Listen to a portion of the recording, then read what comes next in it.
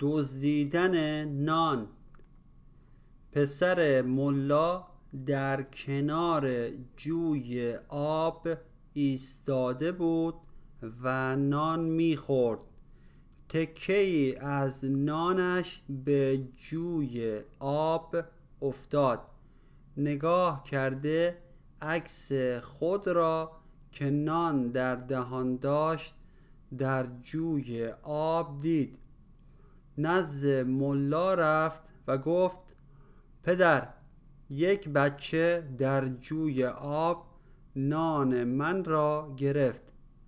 ملا گفت صبر کن می‌روم از او می‌گیرم. ملا چون به کنار جوی آب رفت عکس خود را در آب دیده گفت احمق با این سن خجالت نکشیدی نان بچه من را گرفتی؟ پسر ملا در کنار جوی آب ایستاده بود و نان می‌خورد. تکه از نانش به جوی آب افتاد.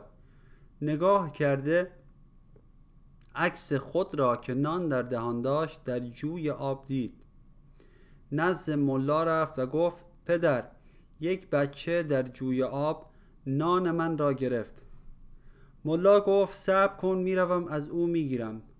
ملا چون به کنار جوی آب رفت عکس خود را در آب دیده گفت احمق با این سن خجالت نکشیدی نان بچه من را گرفتی؟